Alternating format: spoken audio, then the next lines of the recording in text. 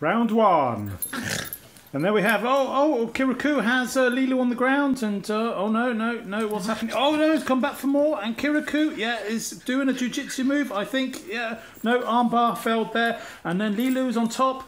Now Leeloo is doing some uh, good work on her feet, and uh, oh, Leeloo has got Kirikou on the floor. Now the, this Greco-Roman uh, uh, style wrestling is coming in uh, handy, and uh, oh yes, yes, I think uh, is fighting back with some amazing jiu-jitsu styles. Now they're both on their feet, and and here we go. Yes, yes, they both have brilliant leg, leg work, and Leeloo seems to. Oh no, she's on the back foot now, and oh no, no, here we go. Oh, it's all over the place. Uh, end of round one.